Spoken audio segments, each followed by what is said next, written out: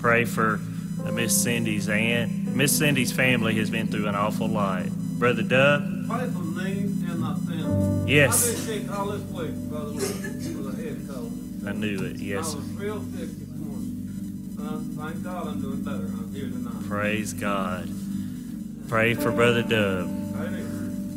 You want to see commitment? Look at these five that Lord used to keep the doors open when it looked pretty dim. Amen. I talked to that guy that was here last night, Brother Buck. Y'all remember Brother Buck? He come last night. He used to walk many miles to get to church, and some people won't walk a foot. Amen. Yeah, Amen. There's been time. I mean, there's, and, but he was willing to walk.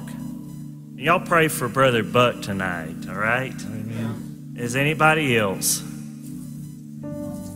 You can bring your petition to the Lord, believe He'll answer it, trust Him.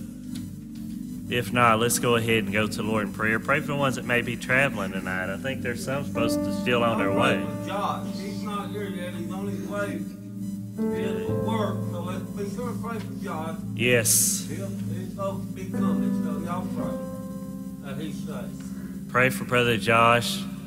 I tell you what, I got broken last night just watching him get praying over that offering, how the Lord saved him. Whew.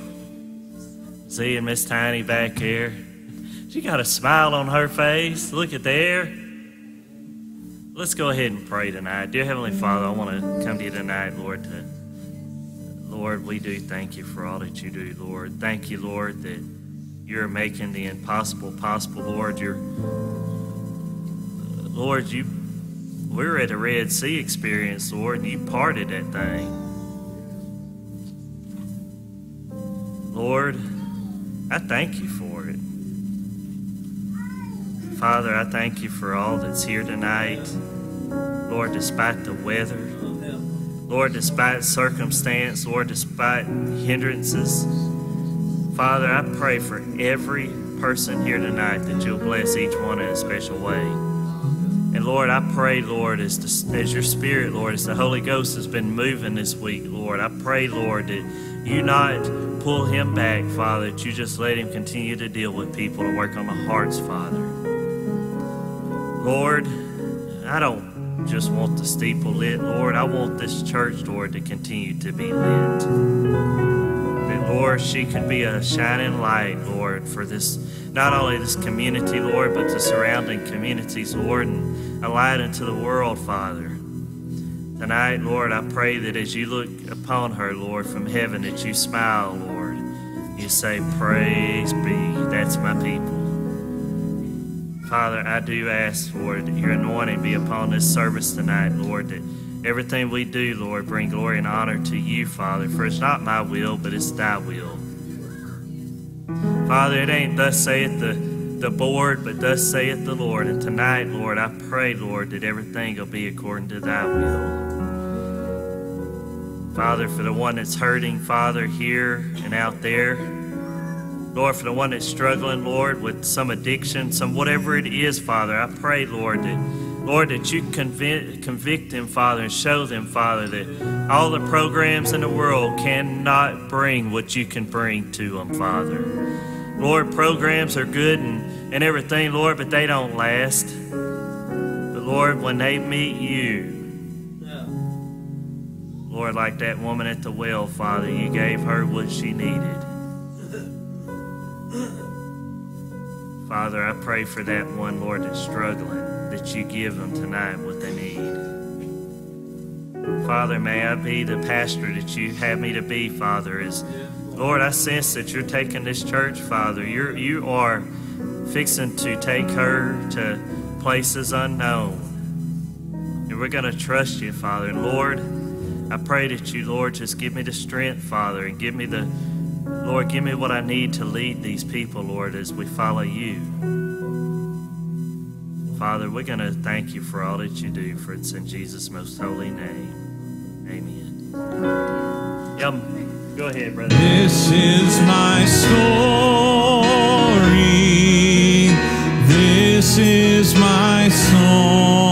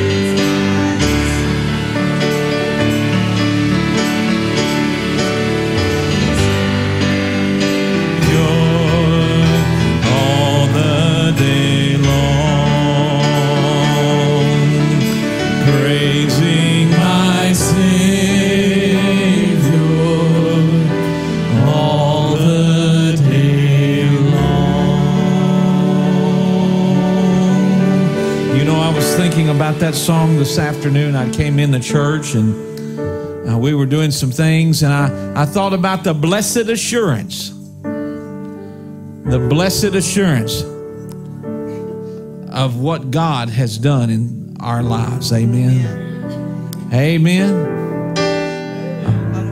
All right, I, I'm going to tell you.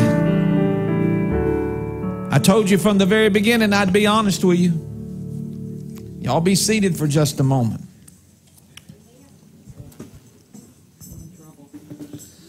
Uh, it's Friday night and you're at church. Let your face know it. Y'all look like you lost your best friend. I'm telling you, we, we ought to be excited about Jesus Christ and what He's done. As Brother Brandon said, our bodies may be physically tired, but God's making some preparation for some things that's going to go on. So we're getting strengthened. And when you when you go to the gym and you begin to work out, you're you begin to build some muscle and you begin to get stronger. Yes, there's a little soreness that comes along with that. Hello? But but I want you to know something tonight. This is my story. This is my song praising my Savior in the rain, in the mud, in the slop, in the sunshine, in the cold, in the wind, all the day long. All the day long. We want the world to know, church. We want the world to know blessed assurance. We want the people to know that we come in contact with blessed assurance Jesus is mine. Can we stand and sing that song again? Let's sing that chorus again.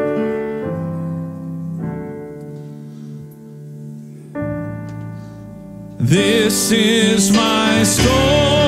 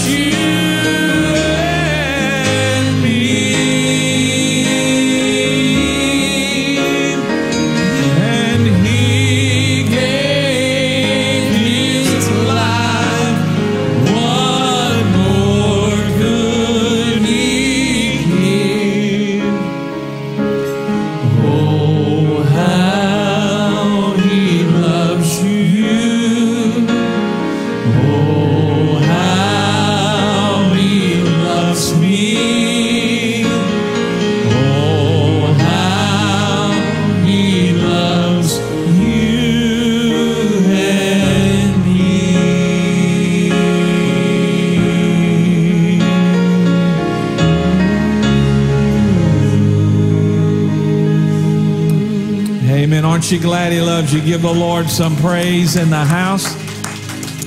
Amen. You may be seated. And uh, um, back last February, we were doing a revival up in uh, a little community up in Aberdeen, Louisiana, uh, Aberdeen, Arkansas. I've been in Louisiana so long now, I'm calling everything Louisiana. but but this song, God began to uh, to give us this. We would, had gone to her hear a friend of ours uh, was preaching, and and as he was preaching, he said these words. As he walked down the aisle, he said, "Would somebody pray for me?" I ask you the question tonight. Don't you love it when somebody says, Hey, I've been praying for you? There's nothing like that. Whenever we hear those words, Hey, I've been praying for you, it is an honor and a privilege to pray for somebody. I've been praying for you. I've been praying for you. Listen to the message of this song. Would somebody pray?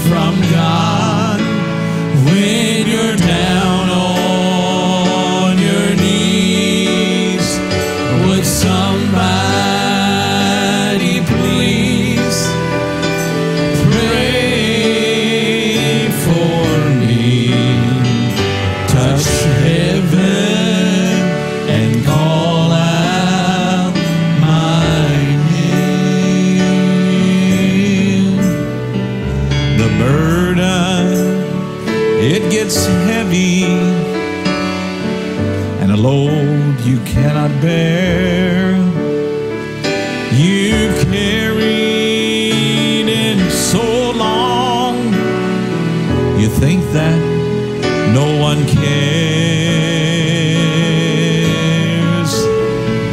But now,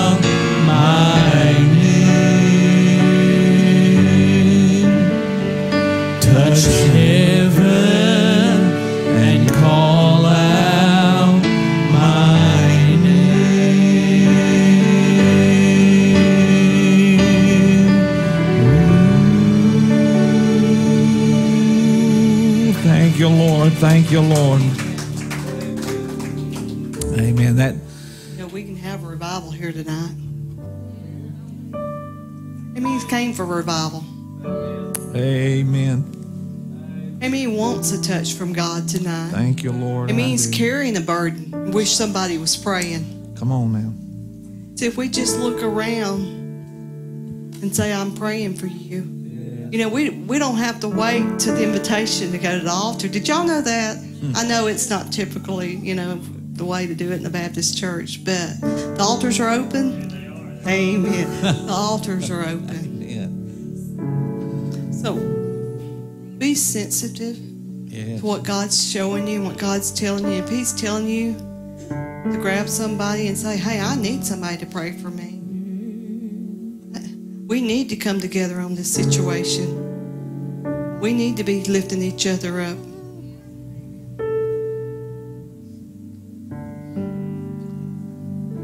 The burden, it gets heavy.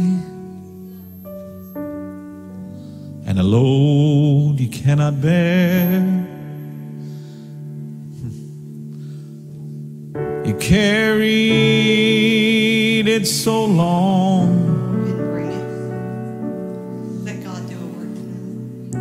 It seems that no one cares.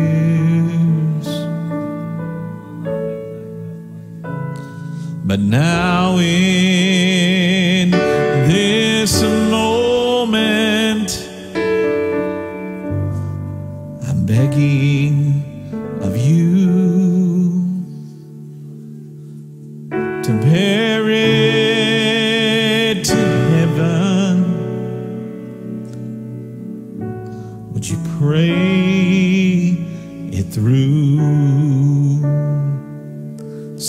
verses. I got to share a little bit about those verses. I, I feel like it's for somebody. A friend of ours was going through a, and continues going through a struggle in their life, a marriage issue.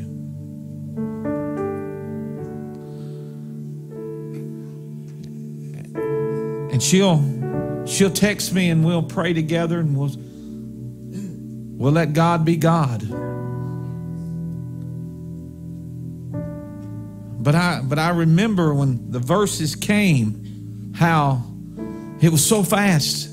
Sister Christy, it was just like they were just like a, a scroll pulled down, and there they were. Because I had seen the look upon her face personally, the hurt, and what it was doing to her physically. The Bible says that we're to bear one another's burdens. And when you bear something, that, that means you help get along with it. You begin to, to take it as if it's yours almost. And when we pray, we ought to pray believing. Amen. Pray believing what God's going to do.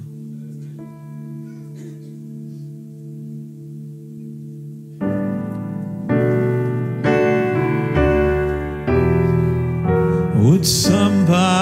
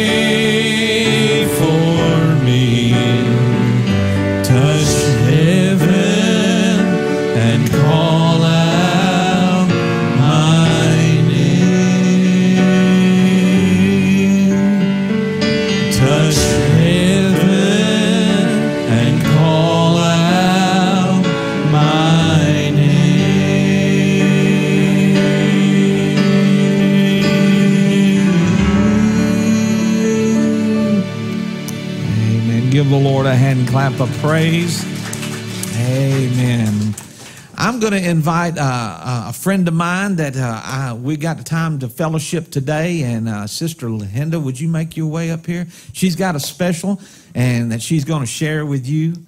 And uh, uh, she's she's bringing out the old song, Sister Christy. I'm telling you right now. She said, "You know this song?" And I'm like, "I know of it, yeah."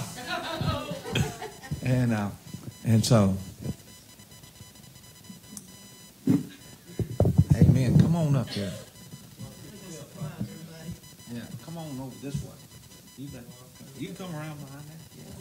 don't don't stumble over my mess.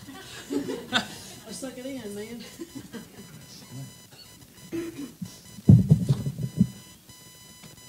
Man, you got more marks in that Bible I ever seen in my life. Looks like a rainbow back there. I'm an artist. What do you expect? Oh, okay. I'm sorry. Here you go. Here's your microphone. Okay. So you can pull it out and then you want to here. You have to talk so they can hear you because you're on the camera.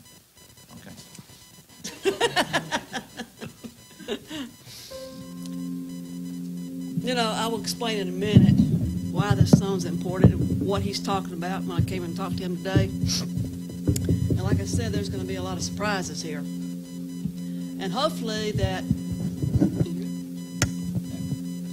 and hopefully that by the time that I get through with my testimony, so to speak, it'll make a difference Amen. because I was so shocked with myself. I'm gonna, s- I'm gonna try to sing this song. Now this is he doesn't he doesn't he did not we did not practice this song. I just sprung this on him. That's all right. So anyway, I'm gonna try to sing the words. the devil's after me, as usual. But anyway, he's going away. It- it- His eye is on the sparrow. How many remember that song from a long time ago? We never hardly hear that song anymore. And I just, was- and I wanted to sing, uh, least have him sing something. Or I asked him to sing it, but he said it'd been a long time. So anyway, I'll I'm going to try. Y'all sing with me if y'all know the song. And then I'm going to explain why this song meant something to me. Okay? Why should I feel discouraged? Why should the shadows come? Why should my heart be lonely and long for heaven and home? When Jesus is my portion, my constant friend is He. Oh, His eye is on the sparrow, and I know watches me. His eye is on the sparrow, and I know He watches me. I sing because I'm happy. Oh, I sing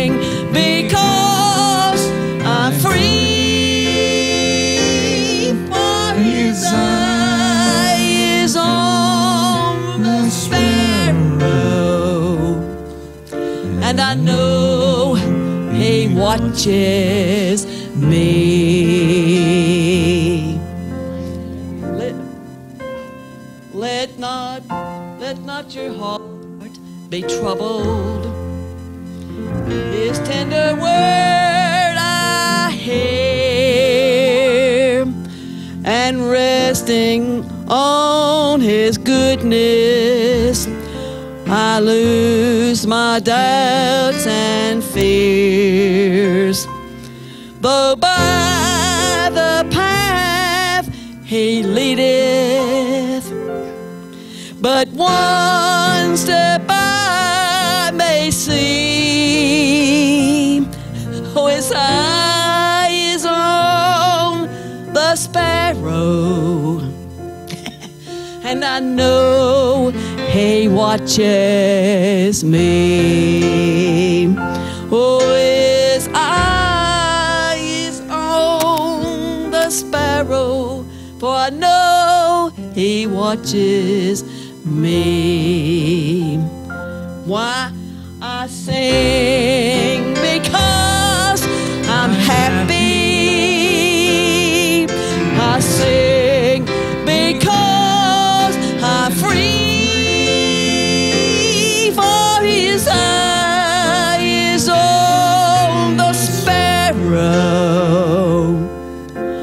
I know He watches me. Whenever I am tempted, y'all get tempted sometimes? Whenever clouds arise, when songs give all place to sighing, when hope within me dies. That ever happen to y'all? I draw the closer to Him. From cares He sets me free. Oh, His eye is on the sparrow, and I know He cares for me. His eye is on the sparrow, and I know, yes, I know, He cares for me. Y'all sing, I sing because I'm happy.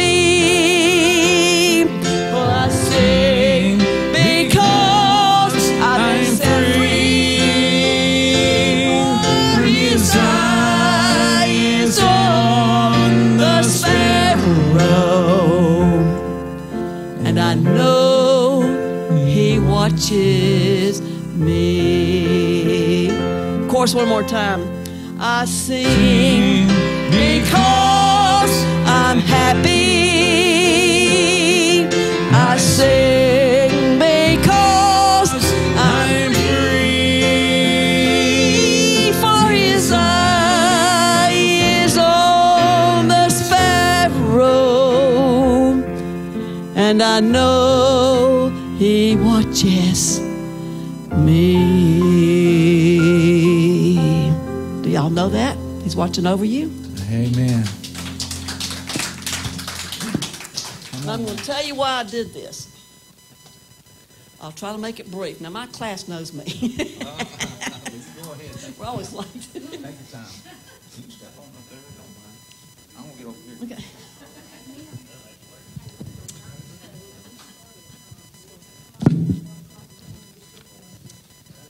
Kind of used to this. You know,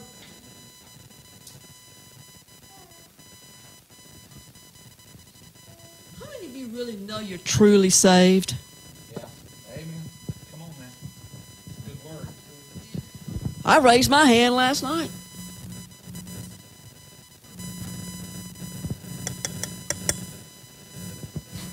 I was sitting by her, LaDonna. Happy little thing. Was she just so happy? She's going to be baptized Sunday. And then I got to thinking because a couple weeks ago I was sitting at the piano there at Harmony Baptist Church. And Pastor Gabe asked a question. Because I've never been I've never been challenged with this before. He said, How many of you know that you're saved and would anybody be willing to give their testimony so the rest of us can hear it? Well, it's kind of this pall for a little bit. And then different ones start speaking up. I didn't say anything. Because after thinking about it, well, now I do two Bible study classes. I do a Sunday school class. I sing in a choir. I play the piano. Okay, God, didn't I do good? I endured with some of the people in my class. but that didn't satisfy me, that answer. But because I got to thinking about it, I even talked to, said something to Judy about it. And she could remember an exact time, date and time. And so I, I got to thinking, and, and I'm fixing to talk about him in just a second. I'll talk to your face.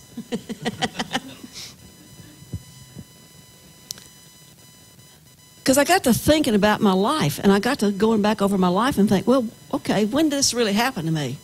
Because I was content where I was. I mean, you know, I've gone through a lot of storms like everybody else. And I've taught the very thing that now I've been questioning. Anybody been there? I know where I'm coming from.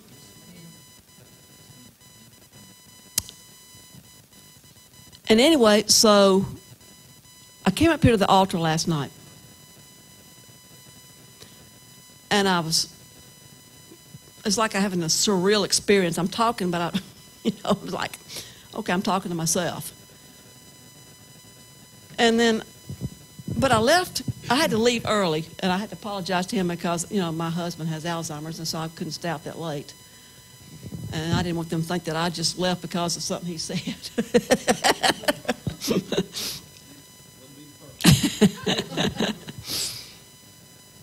I got home. I couldn't even read my Bible, really.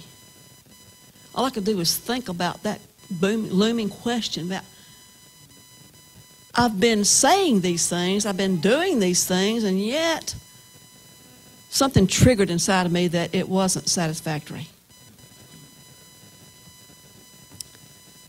So, and I knew that they were going to have a Bible study here this morning at 9 o'clock. You know what my prayer was last night before I went to sleep?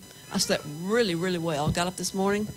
I said, I hope that the pastor doesn't have anybody because I really need to talk to him about something. Well, I came in here and I sat here about five, ten minutes thinking, uh oh, nobody's here. I said, well, that's a good thing, isn't it? That's what you wanted, wasn't it, Linda? That's what you wanted. And then he walks in. And then, so he remembered me from last night. And uh, so I said, uh, I'm glad you're here. I'd like to talk to you by myself. And you know what he told me? What's his name? Matt what? Brother Mac, who lives in what, Jackson, Mississippi, called him a few days ago and told him about a, a lady was going to come and needed, uh, needed to talk to the pastor, him, alone. That's kind of freaky, isn't it? and I looked at him like, ooh, okay. And so before I even said what I was on my heart, he said, I know what you're I know what's wrong with you. I said, uh oh. and he pinpointed some things in my life that I wasn't really aware of. Now, we also talked about the devil and the demons. Okay, class, you remember? We did the study on them. And I warned y'all about what's going to happen. And it happened. he stalks you, comes after you with an onslaught. And I found out some things about him, the devil, that we do have victory over him. Amen. We do have authority. And we do have the power that's, that's been given to us, but how many of us really use it? How much, how much has it really been taught in most Baptist churches anyway? It's kind of glossed over because I've heard some people say, well, I'm going to leave him alone and he'll leave me alone. Well, that ain't so. You're already in bondage to that. What I'm basically saying is that sometimes we feel so insignificant in our walk through this life. Especially if we're we've got so many things coming against us and we don't know where to turn. A lot of times we're afraid to tell somebody else. What will they think of us? Oh, well, my cover's blown. You know, that kind of stuff. So fear holds a lot of people back because they don't even know what they're, what's going to come out of their mouth, and they're afraid once it's out there Then what? But you have to lay that down. And the reason for that, now I'm, I'm going to be going to my church Sunday telling the same thing that I'm telling. I called them up. I wouldn't tell my class, you know, what was going on. I said, you, uh, I'm going to shock y'all. and look at that look on their faces.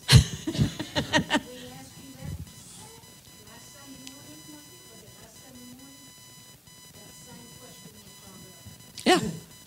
And I thought of two instances that could have, I thought, were maybe legitimate. But you know, when it got right down to it, I started reading in the Word. Are not two sparrows sold for a farthing, which is like a penny, and one of them shall not fall on the ground without your Father? But the very hairs of your head are all numbered, or lack thereof. Fear ye not, therefore, ye are of more value than many sparrows. Do you know how much God loves us? I've taught this, and I believe it. But you know what? It's 14 inches between your brain and your heart. And I've taught it. And I believe it. But somehow it got rewired someplace maybe like that. Went that way. Because, and I would teach this class and believe everything I was saying, but then it still something was not right with me. I didn't know what it was. That's what I came over here today to find out. Because there's been too many questions now for the last couple of weeks that I've had to think about this. I'm 71. It's about time I start thinking about it.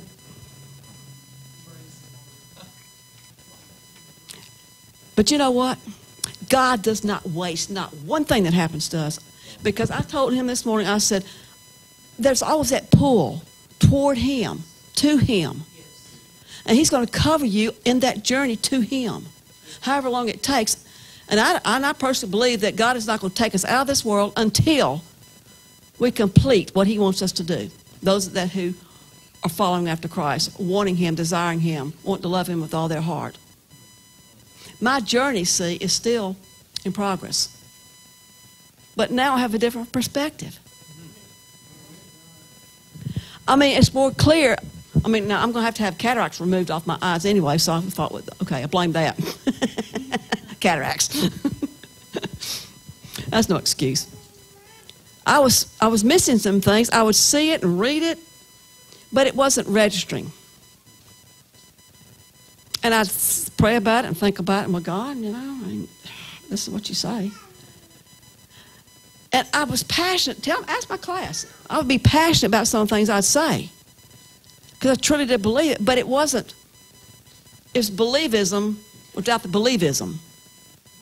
Okay, that didn't make any sense. Let me try again.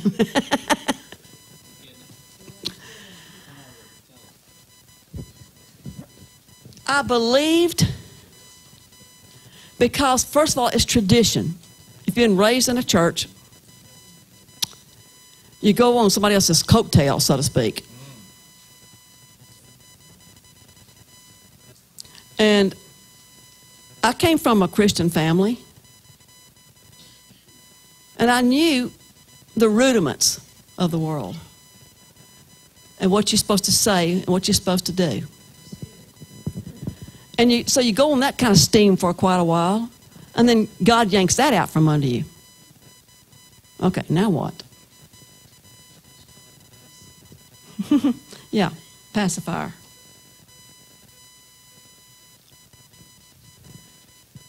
This morning, I was thinking, you know, how privileged we really are that God loves us this much, that He's willing to wait on us for maybe a long time to come to Him. Now, we don't know when we're going to die, we just don't know that. But as long as we have life, there's breath. With His breath, there's still life. And He still wants to use us. And what comforted me was Moses in the, in the desert for 40 years. that comforted me for some reason. Because what he was doing, he's preparing Moses for the journey ahead. He's got to be bringing all these people out into the desert. Had he been still in Pharaoh's court, he would have known the first thing about being in a desert. If they had seen, if they'd had TV, he'd been seen on TV. But real life, realistically, he had to be prepared. So everything that I'm comforted in knowing this, everything that has happened to me all the way up to this point, up until this morning, God used. He knew this was going to happen. Before millions and millions and millions and eons ago, when he thought about Linda Stuckey, he was thinking, he knew this day was going to happen. I can finally now say, with all clarity, the, the word that he used. I know that I know because I, I just kind of knew a little. I mean, I, he said three I knows. I know that I know that I know, and I could probably do one. the other two I had to wait until today. And it's different.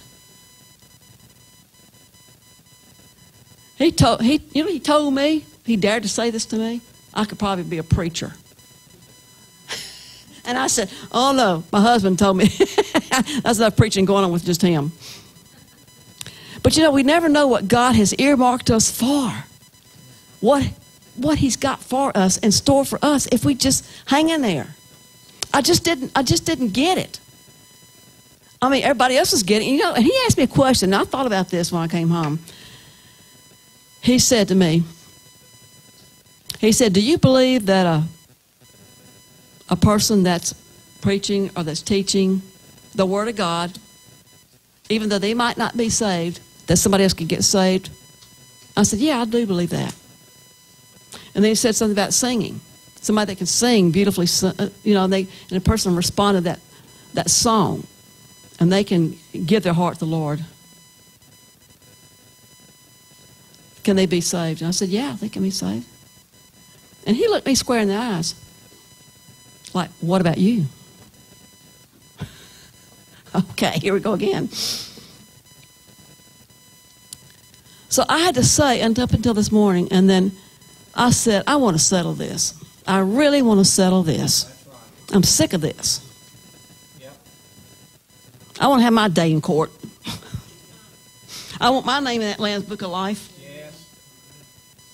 It's there, and the devil ain't taking it out. Now I can't wait to see what he's going to do with me now. He's got me this far.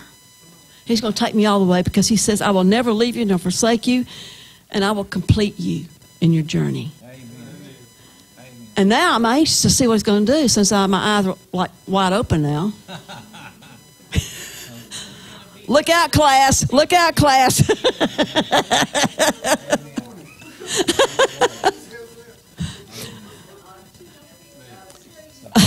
because I am going to go and stand before my church.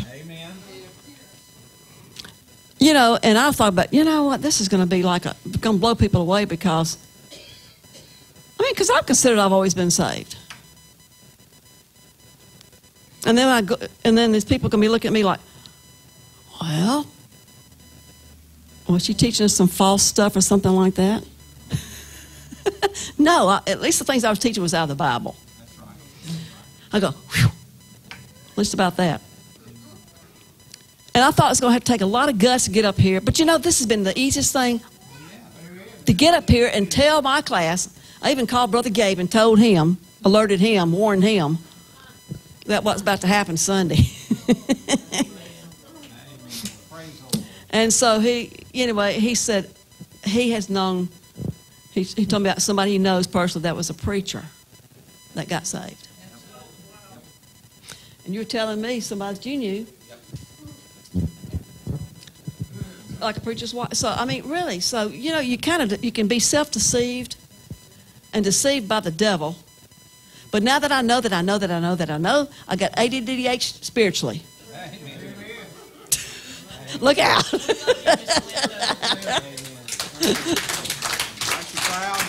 Amen. Amen.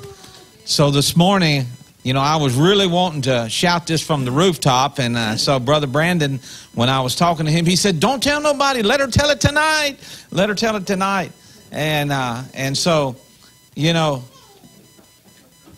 God will save anybody, anytime, any place when they're under conviction. Amen. Amen. She got to the place and realized what she was missing. And I love what you said. I'm gonna I'm, I'm gonna use that. Went to went to church cause of tradition. Almost the wording would be saved because it's a tradition. You can't be saved by a tradition.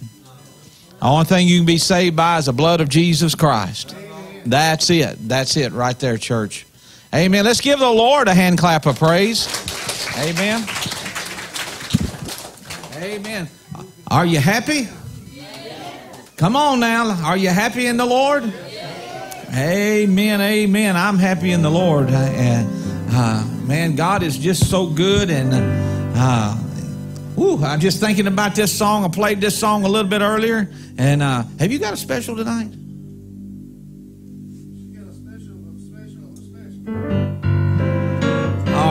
Well, we're going to sing this song.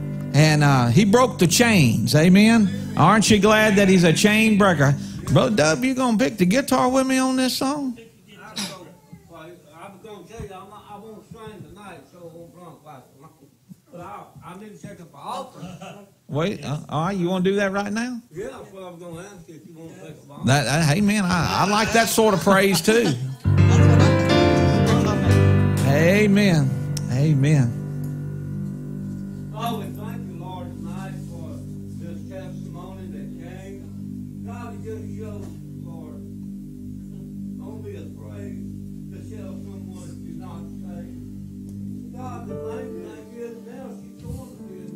Life.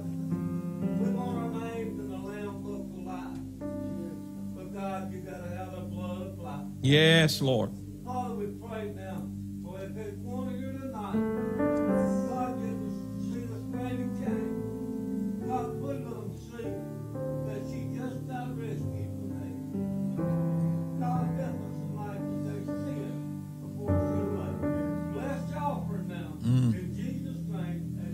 Amen.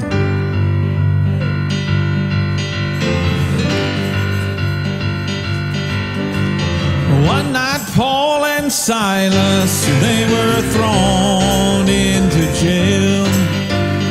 Bound in chains and darkness, they were deep within their cells.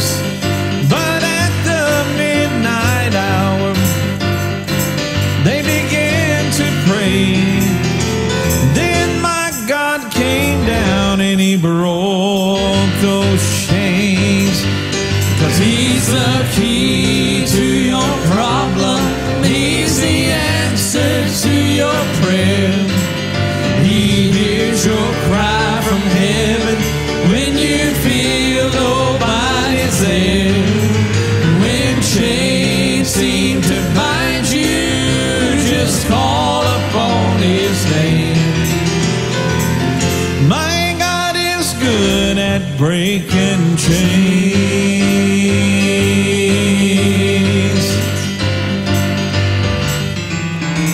I was in a prison, I was sinking in despair. Nobody seemed to listen to me, and nobody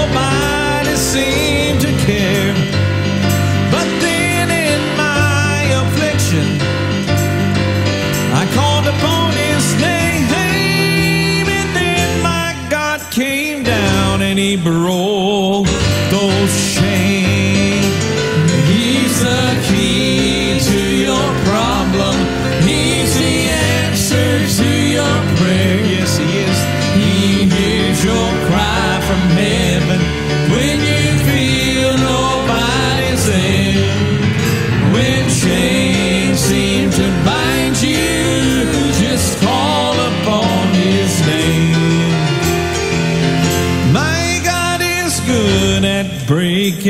breaking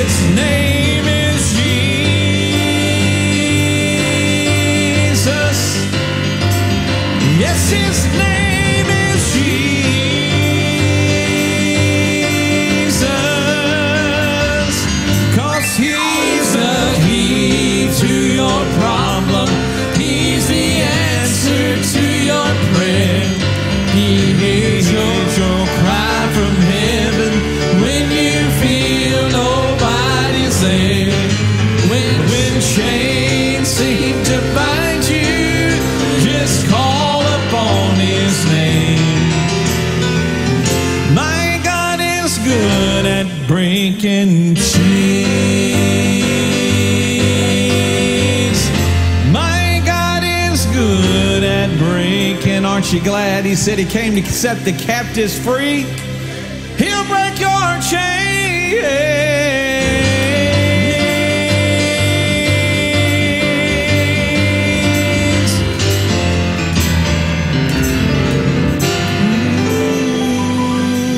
Come on, give the Lord a big hand clap of praise. Amen. Amen. Amen. So, uh,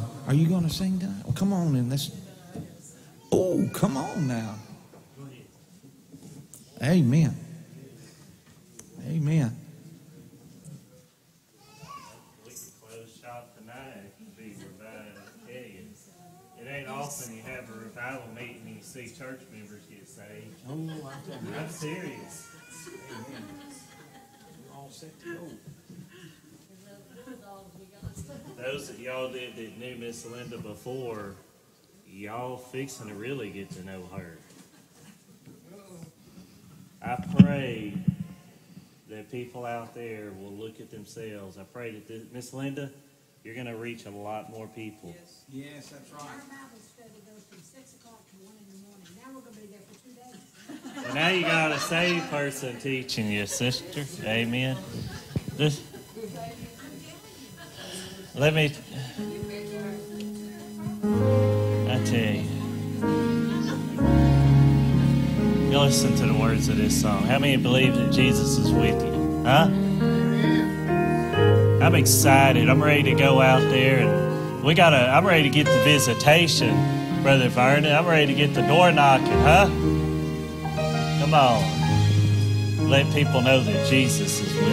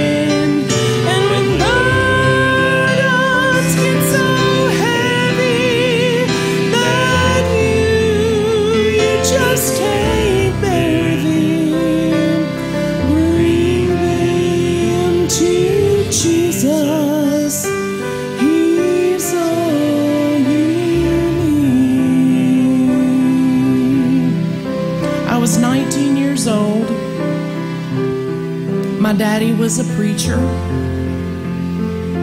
I had been the president of the Baptist Youth Association where we lived. I was a member of the most evangelical Baptist church in the state. We had seen so many people come to know the Lord that we had eventually we had ended up going to two services. 700 and something people saved in a year's time. But before all of that, my mom, she came to know the Lord as a preacher's wife. Isn't that amazing? Every preacher's wife ought to be saved. Every preacher ought to be saved.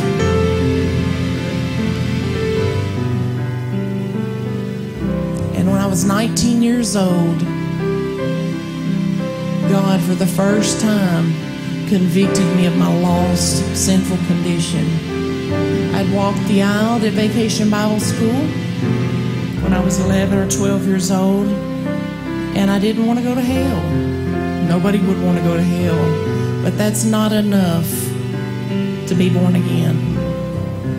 I never knew I was going, never knew that I deserved it. And at 19 years old, I told God, well, I struggled for a whole week. I struggled for a whole week. Y'all listen close. Somebody, the Lord's pointing somebody. Somebody's been a church member. And, I, and I'm sharing under the authority of my husband. He knows my testimony. I truly believe women are, are can be wonderful teachers. Wonderful teachers but but I can never preach or pastor. But I can I can preach be a preacher for Jesus and share my testimony. Okay? And I was I was lost and I was undone, but I had heard I knew all the right answers because I heard the right answers all the time. We groom our children you learn to say the right answers because you hear the right answers. But then the lifestyle and the answers, they don't add up. And I, I, I wrestled with God, and I literally knew what it meant when that verse said that it's a fearful thing to fall in the hands of a living God. I, was scared for my very life. I, I played the piano. I went all over Louisiana following my daddy. But I was lost. But when God showed me my lost condition, He knew my heart. And I told Him, Lord, I, I, I believe that you you I believe everything that you said you were and that I believe that you're going to do everything that you said you will do. Whenever you ask yourself if, my, if I'm not truly born again, and you can go back to and say that you did what the word said.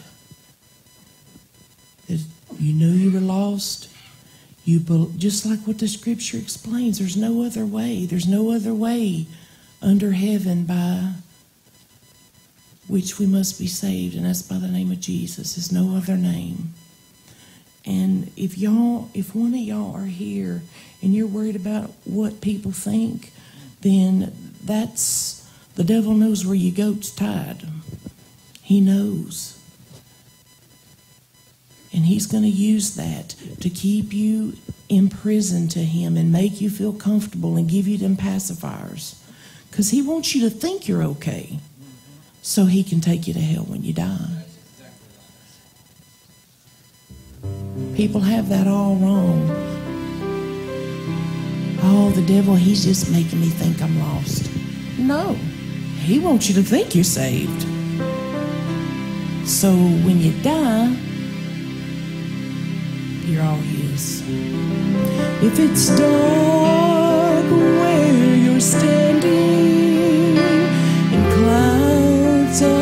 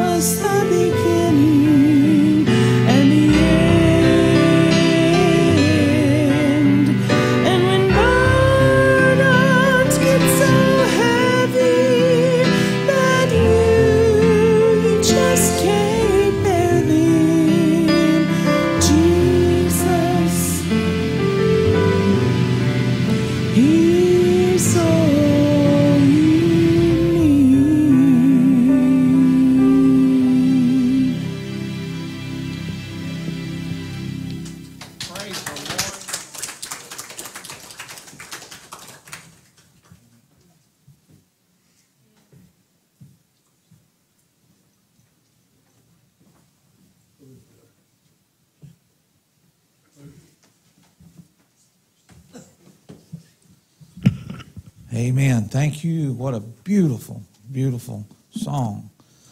Brother Brandon, you've been holding out there, buddy. I see how that is. And uh, what a great night. What a great week thus far. I believe, I believe, you know, Brother Brandon and I, we've been talking, and throughout the day, he called me from the second story. He said he was about ready to fly whenever I, I told him about Sister Lahinda. And he said, I think I could just jump off and float right to the ground. Everything would be good. And uh, so I'm, I'm thankful tonight.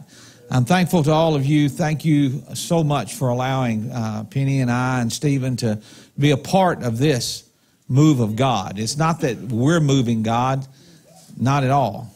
It's just that we got in right where it's at. And, and I believe God's still doing the work. I believe he's, he's working in some lives. I agree with Sister Christy. God's, the Holy Spirit has been knocking on some doors tonight. Uh, it's, it's going out everywhere. It's going out on the internet. People are, are seeing, uh, people are hearing the Word of God, and the Holy Spirit is doing the convicting. Amen? Amen.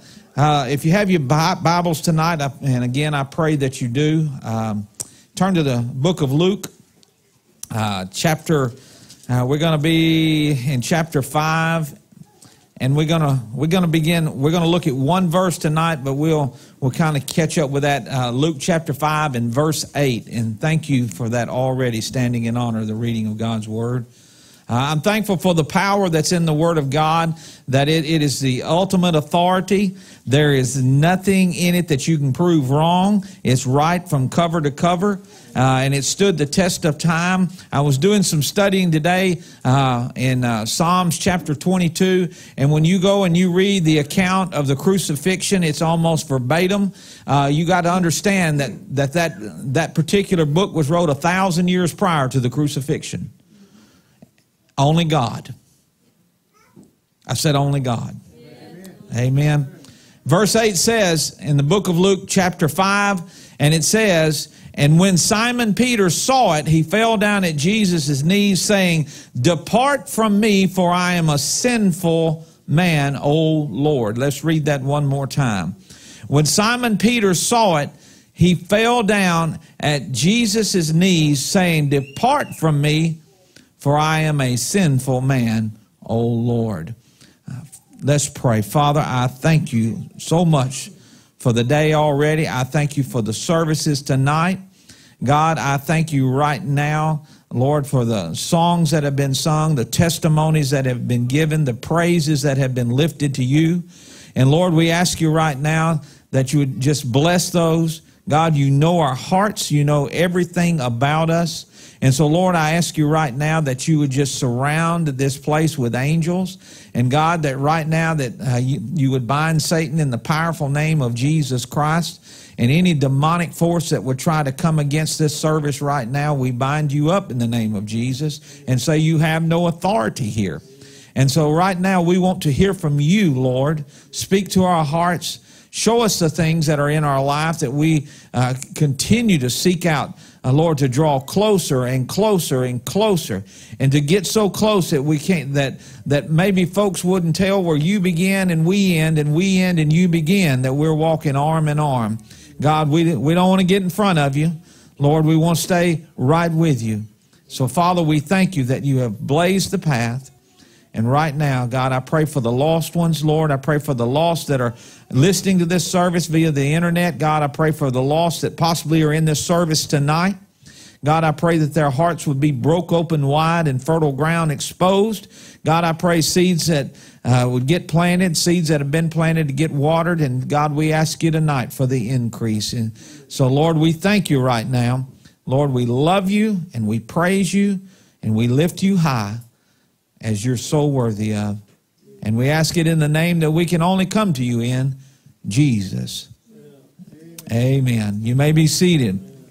So we find in this passage of scripture, I toyed today with several passages and God just led me. He, he nailed me onto this one. And, and so we find at the beginning of this passage uh, in chapter 5 that uh, there's some things that are ha- happening. But what I want us to take a look at for just a few moments is the wording that uh, is is penned here. It says, when Simon Peter saw it. It has to come to a place in our life where we see it. It has to get to the place you can look at it for so long, and uh, you know we talked about it. Some sometimes you can't see the forest for the trees. Um, I can tell you that I'd, I'd hate to know how many days I have spent in a church house.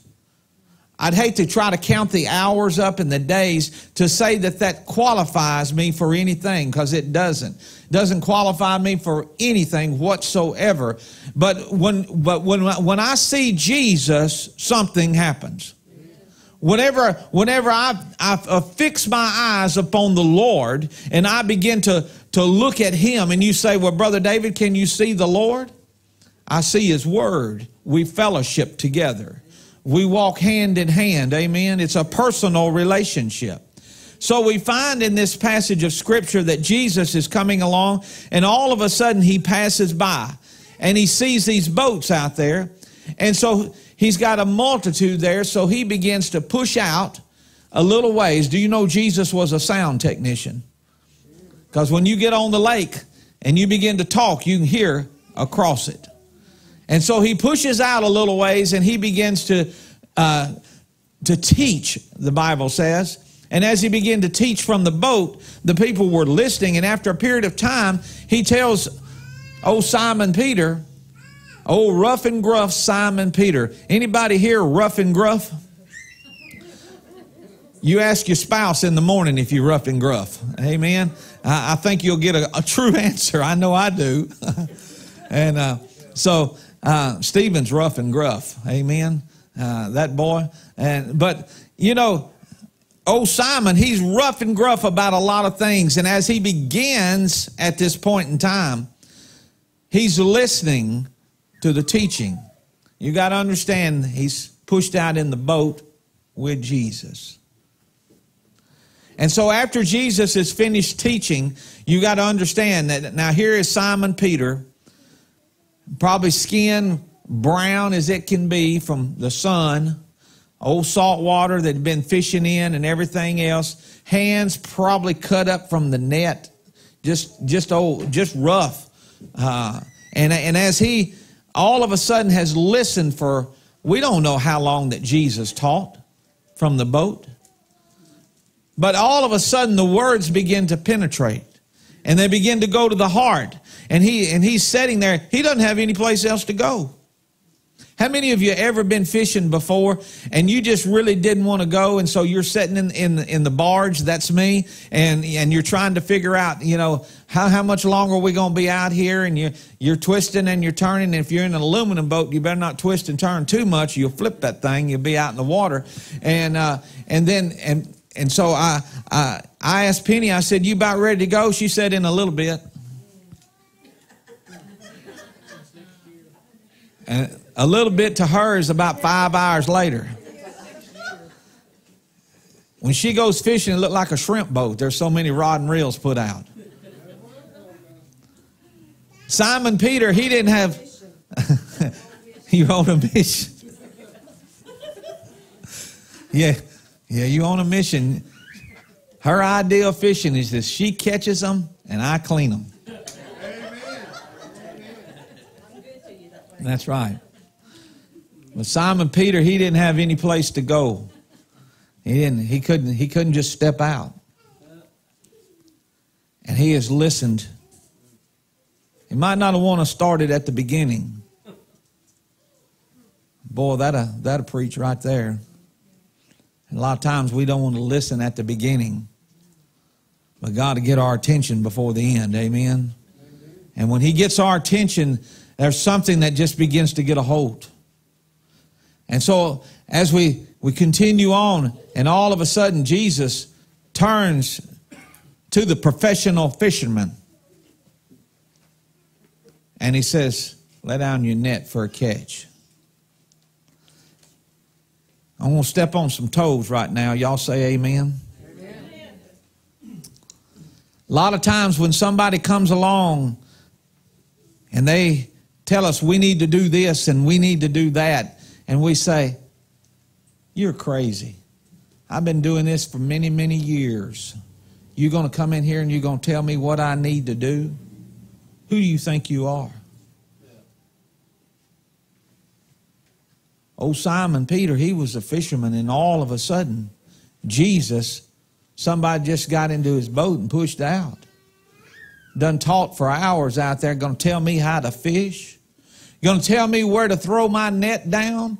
Going to tell me all of these things? I'm talking to somebody tonight because we need to pay attention. When Jesus starts speaking, we better pay attention because he's not just talking to hear a voice, he's speaking to us intently about something. And all of a sudden, as, as Peter says, Nevertheless, Lord, we toiled all night, but nevertheless, at your word, I'll let down the net. God speaks to our heart about a lot of things. We've talked about this a lot this week. How to how how to go visit somebody. Uh, man, I, I, was blown away uh, at uh, the gentleman that came with you last night. Me and him, we sat over here and we fellowshiped for quite a while last night. But God spoke and said, "Go, go get this guy," and there was a reason for it. There's a reason that all of us are here tonight, without a doubt. And so we find that in, in, this, in this particular passage right here, Simon Peter has been listening. And then all of a sudden, Jesus says, Let down your net for a catch. How many of us get right to the point and God's going to use us for a big catch, and then we, we decide to, to mouth up fuss up, and pack up. I'm going to carry my net and put it back in the closet. I've been, I've been in a lot of different church churches. I've been uh, all over this country from A to Z. I've seen it all. I've seen a lot. But my friend, when God begins to speak, we, we better start hopping. We better, we better start listening because there's a plan that's in order. And my friend, I don't want to miss out on what God's got. I don't want to miss out. If I wanted to miss out, I'd have packed up, Brother Brandon. Sunday night we got done. I said, No, Brother Brandon, I don't think I'm, you know, we need to get on home. Jesus said, Let down your net for a draw. And he let down the net, and when he began to pull it up, the Bible says that the net began to break. And he had to call for help for the others to come put all the fish in the boat. And then so here, here we are at our at our verse that we're we're looking at tonight. And it says, when Simon Peter saw it, some of us, it takes a little bit longer for us to see it. Some of us, it takes a, a, a more convincing, if you will. Some of us, it takes a good slap upside the head by, by the Lord. Some of us, it takes a lot of different things, but Simon Peter saw it. And my friend, when you get into the presence of Jesus Christ, when you, when you see it, there's not one thing to do that you really can do fall to your knees.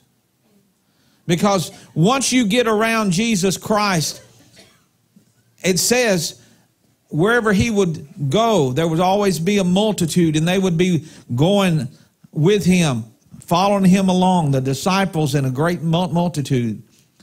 And as they would make their way along, there would always be those that were doing exactly what God had talked to them about doing. Then there was those that wasn't. Simon Peter, at this point, he realized he was one of those that had been in the had not crowd.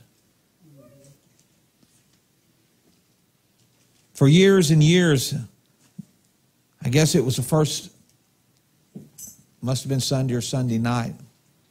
I shared with you about our business, but for years and years, I knew what God was saying. Years and years of, of doing, yeah, I was out singing. We, we would go and be gone, leave Friday night a lot of times, get back early Monday morning time to shut the bus down and go back to work. And have done sung Friday night, Saturday night, Sunday morning, Sunday night. Yeah, it was busy. But a lot of times we can get so busy not fishing where Jesus wants us to fish. We can get so busy just being busy. We can get, we can get busy just being church. And people die and go to hell every day. But Simon Peter said, and when he saw it, and what he saw was the Savior of the world. What he saw was Jesus Christ. What he recognized was who Jesus truly is and who he is right now. Simon Peter, he the Bible says, and when he saw it, I have to wonder if he just thought his knees began to get weak because he realized the presence of who he was in. who Jesus is. And then he begins to confess. My friend, I want you to know there is nothing that we can go and convince Jesus Christ of. And you say, What are you talking about there? I'm saying when we go to Him, we need to be like Simon Peter Oh Lord, I'm a sinful man. I'm a sinful man. Simon Peter, he realized real quick and he fell to his knees and he cried, Depart from me, O Lord, for I'm a sinful man. But did Jesus leave him?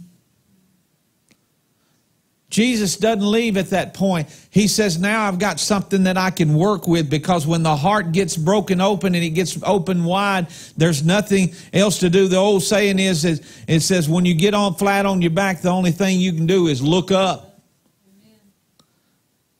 Sometimes it takes getting to that position as, as Simon Peter, he says, Oh, depart from me. And, and, and, and he had done got on his knees and he had done got down and he'd got to the place in his life that he realized he needed a Savior. He done got into the presence of God. He done got right in the midst of it, had been sitting in the boat with him, Brother Dub, for hours, had been sitting there listening to him teach and teach and teach with authority and with wisdom. And then all of a sudden, he saw it. all of a sudden it began to, to sink in who this Jesus is. This man that jumped into my boat and said, let's push out for a little bit. And then all of a sudden he had a, told him to let down his net. And even the fish responded to him. He rewarded him for a catch. We don't know how what the value of that was at that point in time. Fish was a was the mainstay in that area. And so if it took 3 boats, that's a lot of fish. Simon Peter as he's on his knees, I can't even imagine to be in the boat with Jesus to actually to just to be in the boat with Jesus face to face sitting there in the sun or whatever it was that was coming down upon on it and to listen to that voice as he began to teach. And then when he saw it I believe tonight there's some people that's looking to see it. I and we find that at this I'm glad because I begin to read a little further Aren't you glad that that's not the end of the story for old Peter? And it says, For he was astonished, and all that were with him at the draw of fishes in which had been taken. And so was also James and John, the sons of Zebedee, who were partners with Simon. And Jesus said unto Simon, Man, you a loser. Get out of here. Simon, you're nothing but trash. Get out of here. Simon, you'll never amount to nothing. You might as well stay here and fish the rest of your life out of this old boat because that's all you'll ever be. Is that what he told him? No, that's not what he told him. Aren't you glad that Jesus takes us just as we are? Aren't you glad that Jesus does the cleaning up? That when we see it, and we understand it and we fall to our knees and, and that's basically realizing who we are and who he is and that he's the only savior that's that can save us that he's the only one. And so we find that at this point in time that jesus doesn't say depart from me. He he does something that the world would say you're crazy. What are you thinking? What are you going to do with some old fishermen? What what can they do? I've had that said to me you might as well quit and go home. But it ain't about them. It's about one man, Jesus Christ. And the Lord. The Lord, as Simon Peter is standing right there, I'm sure there's just such an amazement at this point in time. And, and he tells him, he tells him, he says these words. He says, Fear not.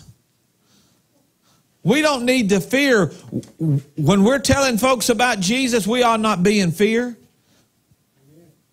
Amen. Ought to go strong right there. I'm going to tell you, it ought to be. It ought to be when we stand up and we start talking about Jesus Christ and what He's done in our lives, and we start witnessing to somebody, and we start sharing about Jesus Christ. We ought to fear not because we're not talking about ourselves. We're talking about the King of Kings and the Lord of Lords. Hey, it's time that we start bragging on Jesus. It's time that we get a little bit fired up about it. You know, for years and years, uh, you know, the ball games on Friday night. I don't know, is there a football team around here, a high school football team, and football games on Friday nights?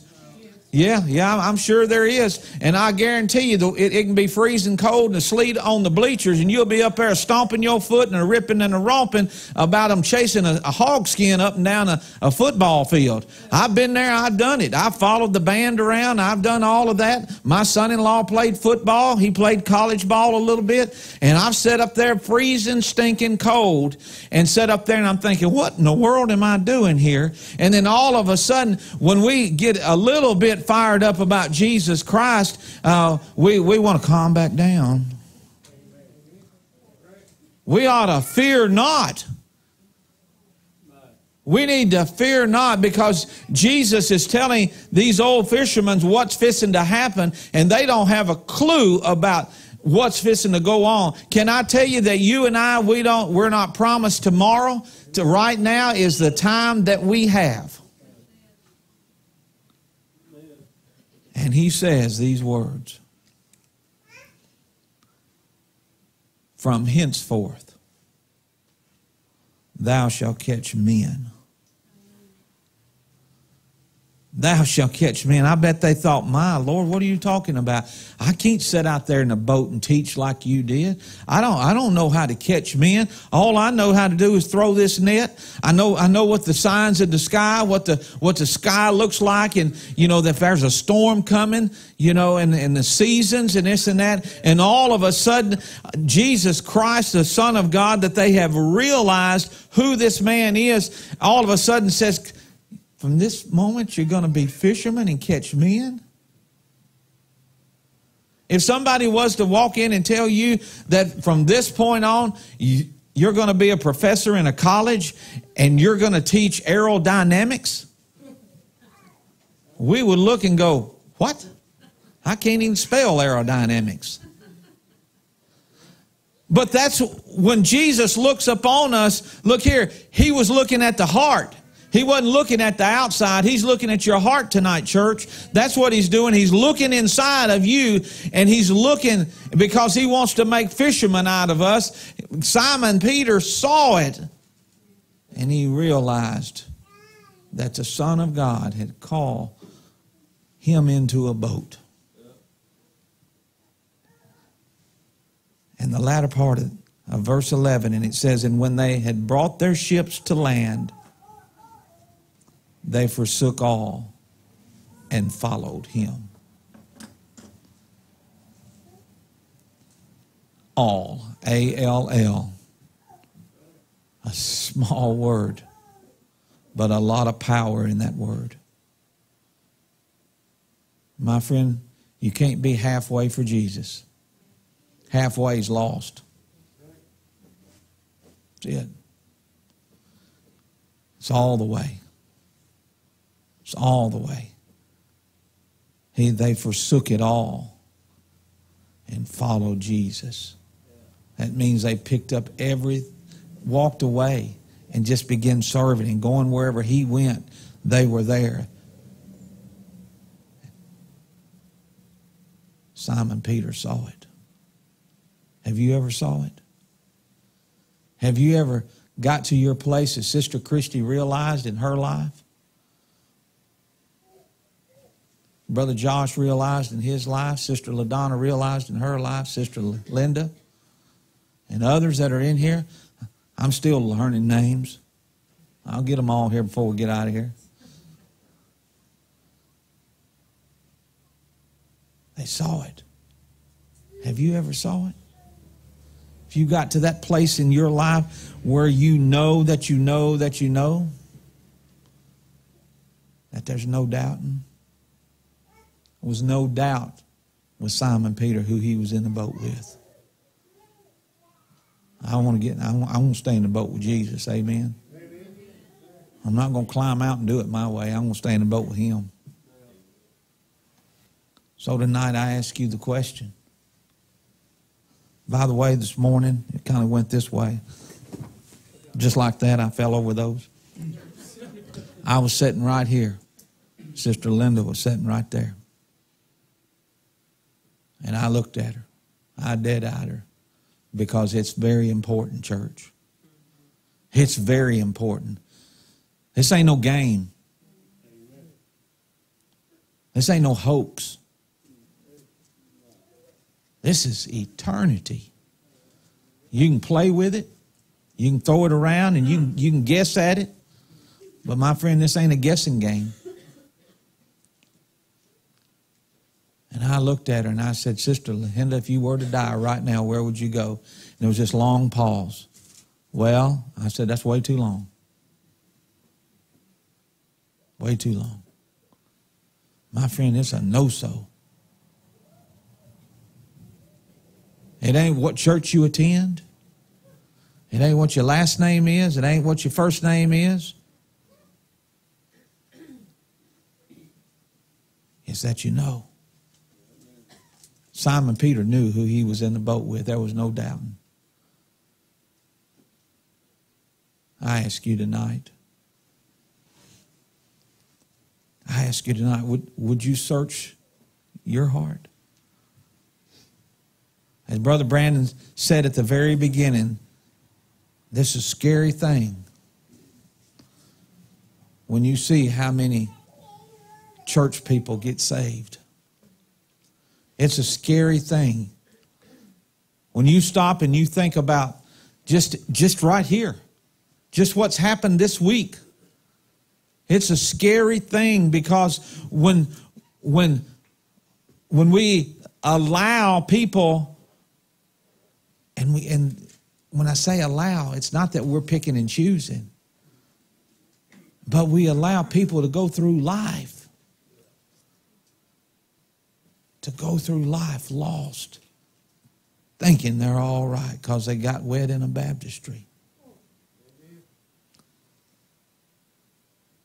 I've seen it a lot. But I'm going to tell you, there's nothing like it, is it, Brother Brandon?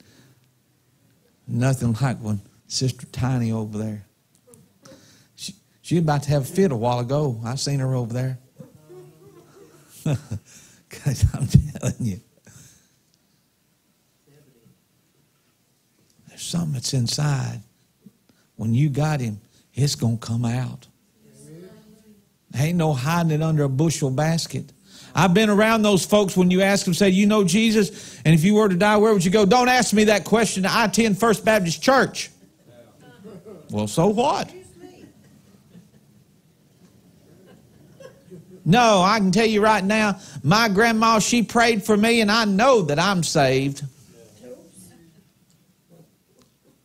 There, there, there's all sorts of reasons out there. And people will believe these reasons, but my friend, the Word of God says there's only one way. He said, I am the way, the truth, and the life.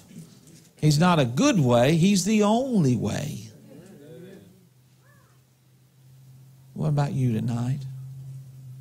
Would you say, I, I, I think I got it settled, but you put think in front of it? Do you think your car is going to run? Do you think that when you get home, you can't think, you got to know. You got to know beyond a shadow of a doubt, as the old preachers used to say. It's time that we kind of get back to some old preaching, y'all. It's time that we kind of get back to some old ways. We done got so mesmerized by the new ways that we become clouded and, and, and, and, we're, and we're not hearing the truth so many times. I'm going to tell you, I, I'm, I'm sick and tired of, of hearing uh, about. Uh, y'all just come in and, and, and we're going to play some music and turn the lights down low. Let's don't turn the lights down low. Let's crank the lights up and let's examine the Word of God and hear what God's got for us. Amen. Uh, I've been in the churches. I've been in them where the smoke machines are going and the lights are flopping and, and the band's up a singing. Hello. Uh, it ain't about a band up a singing. It's about singing praises to the King of Kings and the Lord of Lords. is what it's about. And I'm about to have a spell, y'all, because I'm going to tell you right now that it's it's about Jesus Christ. I'm not against a program, but the program ain't the Word of God, y'all. It was wrote by some man that sat behind a desk that was getting paid to write it, y'all. But when you open up the Word of God and it comes out of your heart and it begins to flow out, you're going to get something from God Almighty instead of some, somebody that's gotten paid to say, hey, this month we're going to study this. Simon Peter, guess what? He was a fisherman, and the Lord spoke to him, and what did he do? He caught some fish. He caught some fish. That's what he did. It's time that we start catching men. Amen. It's time that we reached out. I got to say, Brother Brandon, I'm a little disappointed tonight. I'm not disappointed in anybody that's here. But I really felt like that tonight we'd have that 60, 70 folks tonight. But you know what that says? We just got to work harder. We got to go throw that net, y'all. We got to go throw that net and let it down for a draw, for a catch. We got to go, instead of putting it up and washing it up and folding it up for the next season. No, season ain't over with yet. We need to go throw it. We need to throw it as far as we can and draw it in and draw those in and, and, and, and realize. He said, let down our net. So I ask you, before we go another hour here, I'm, I'm telling you, I'm, it's a, Stephen last night, we got in here and got to talking after the service, was on Facebook and kind of talking about the service, and he said, Man, I believe I could have preached all night. And I said, Yep, you probably could have. That boy got wound up. Wasn't even nobody in here this afternoon. I heard him in here preaching. He said, How'd you know? I said, The speaker was on outside. Could have been just like that man out there, right? Somebody might have been listening to you, brother. Hey, there's a there's a little nursery down here. Who knows might have been out there pulling out some plants or doing something other. The word went out. Amen. Amen. The word went out. Oh, oh, oh Simon Peter saw it, y'all. Have you seen it? Have you seen it? Would you bow your heads for just a moment? Sister Christy, could I invite you to come and play me something up here tonight?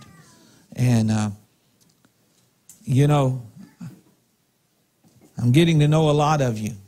You all become very special to us. This church has become very special to us. And uh, I, want, I want you to know something. We don't take it lightly. This ain't no gimmick to us. It's about, it's about souls, y'all. It's about souls. And I'm concerned about your soul tonight. If you're sitting here inside this building tonight, there are others that are concerned. There are others that prayed. Been praying for these services.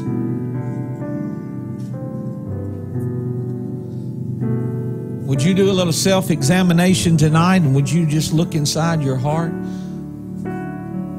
Not your church enrollment, but your heart. And I ask you the question if you were to die, where would you spend eternity? If there was any hesitation, any doubt about where it might be, I ask you to consider this. If you have doubt there and you stand before the Lord and He looks at you and He says, Are you one of my children? And you're standing before Him, are you going to pause for just a moment and say, I hope I am? I think I am.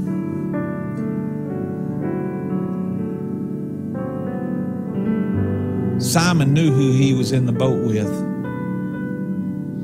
You can know tonight. Just as these that have been named, that have been born again this week, I think it's a total of nine of them.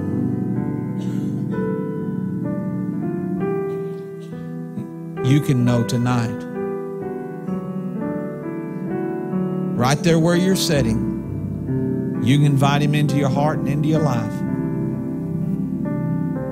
Because it's nothing that you can do. You can't earn it, you can't buy it.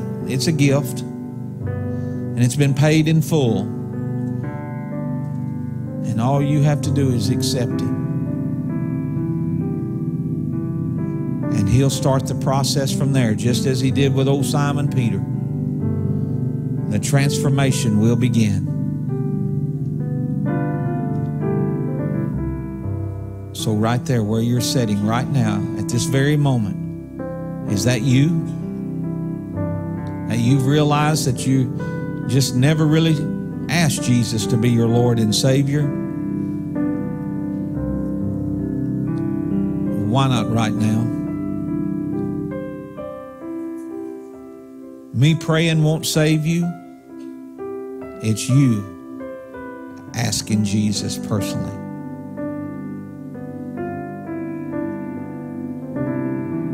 Yeah, right there. In your heart, believing what He will do. So, why don't you pray with me in faith? I'll be honored to lead you in that prayer. But it's you that's got to ask Him. Just pray right now. Jesus can hear a whisper all the way to heaven. Just pray, Dear Lord Jesus, I know I'm a sinner.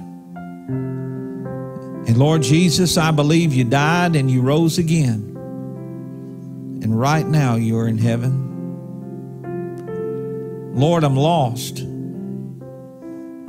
Would you come into my heart and life? Forgive me of my sins. Lord, save me. Thank you, Lord, for saving my soul. Now I want to live the rest of my life serving you. And while you got your heads bowed and your eyes closed for just a moment, if you prayed that prayer in faith, right there where you're sitting, and you ask the Lord into your heart and into your life, would you slip your hand up? I want to pray for you right now. Thank you. Now, while heads are bowed and eyes are closed, if you if you slipped your hand up, I'd, I'd invite you to meet me in this altar. I want to pray. I want to pray together with you. I want to rejoice with you at what God's done. Just come on right now. While heads are bowed and eyes are closed, you just come on. I want to meet you right here, and I'll pray with you. It's the greatest decision you ever made. Without a doubt, it's the greatest decision. So you just come on right now. Just come.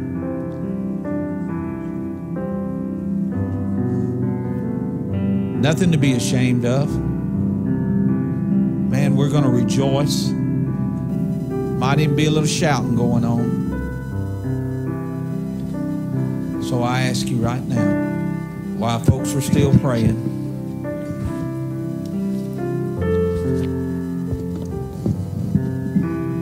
I need some prayer warriors to get in the altar and begin to pray right now. Would you make your way and begin to pray right now? You just begin to pray. Seek the face of God right now. Nicodemus could not understand why Jesus said you must be While folks are praying right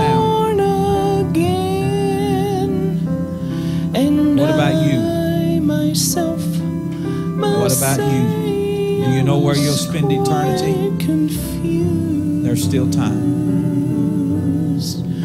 What about you? Would you say, Brother David, there's some things in my life that I know that that I just need some help with. I need God to show me and I need to make some changes in my life. Would you say that's you while folks are still praying? Would you slip your hand up? I want to pray for you as well. That's just some things not just quite right. Whatever it is.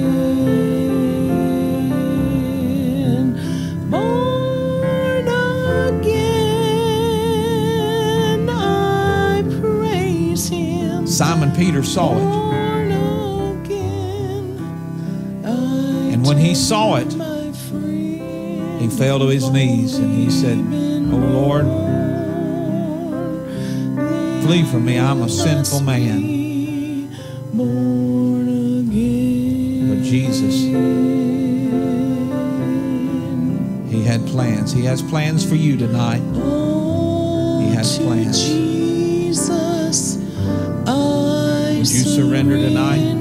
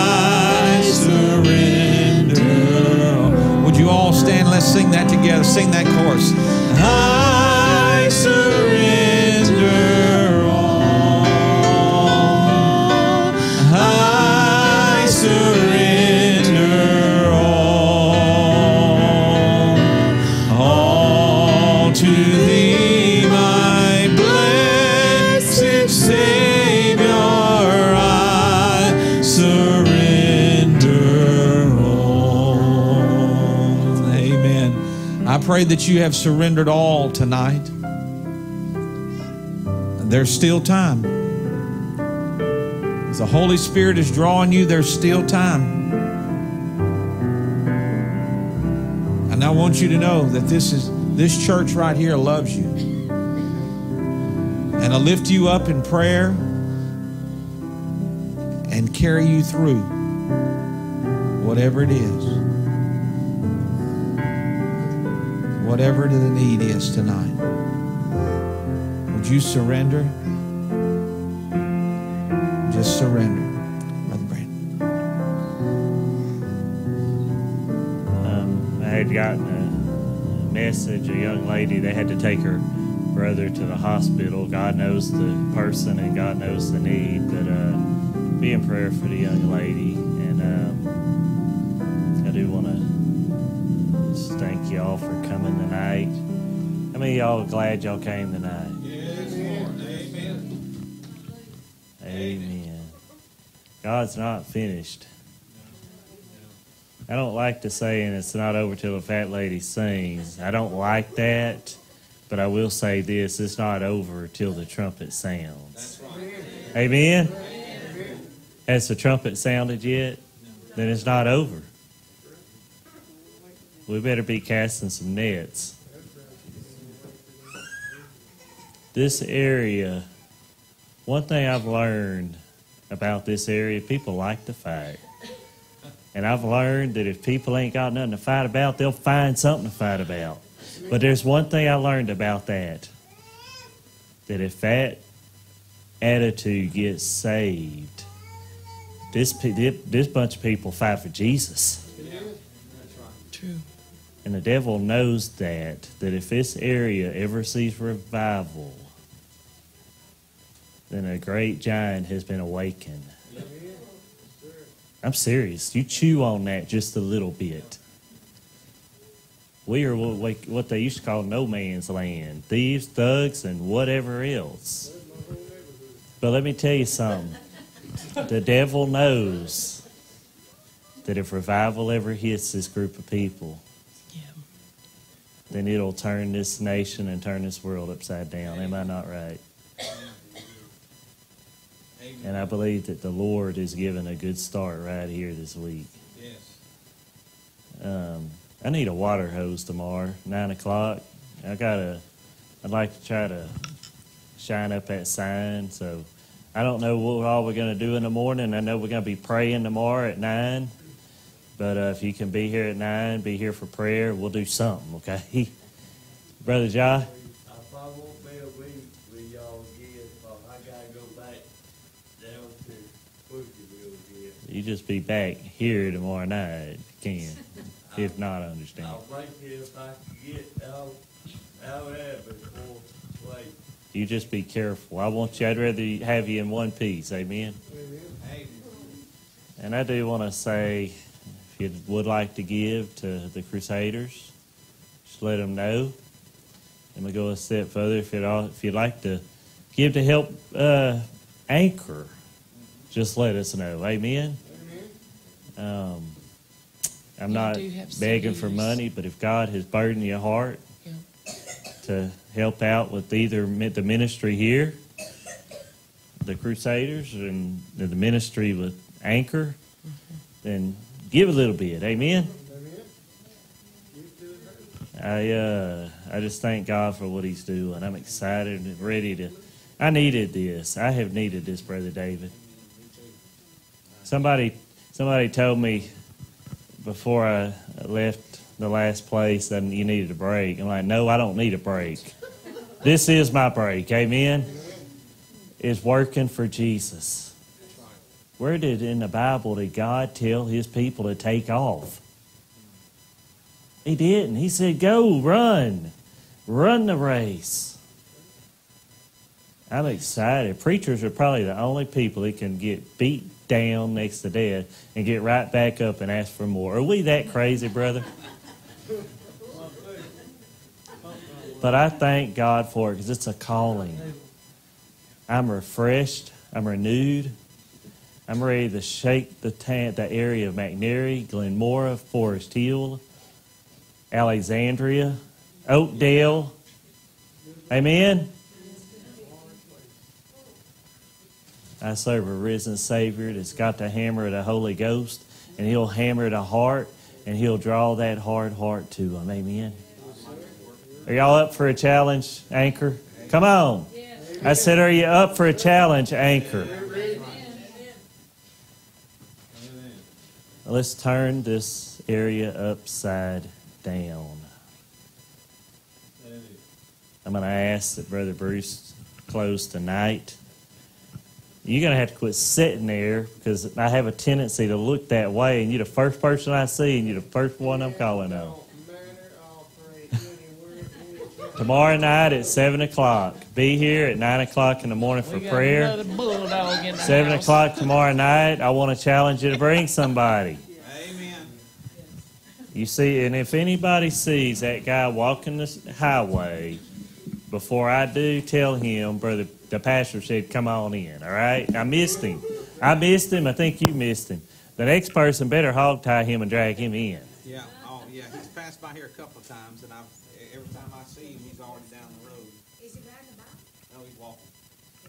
So let's get him here. Right, sir? Special guest gonna be here tonight.